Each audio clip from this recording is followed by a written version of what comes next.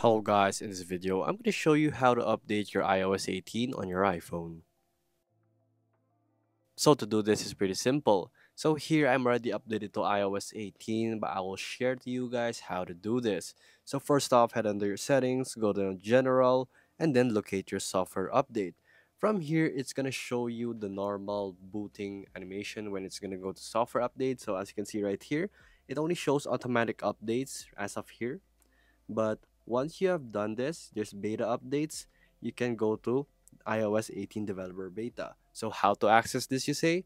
So first, I need you to go to your browser and go to beta.apple.com. So from there, you will have to sign up as a member in their beta program. So once you have signed up, you'll be able to have access to your iOS 18. So make sure you're using the same Apple ID to sign up with your Apple Beta project right here.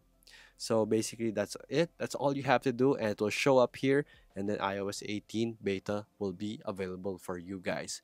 So you can check out our newest video guys where I show you the new iOS 18 features where it has screen mirroring with MacBooks.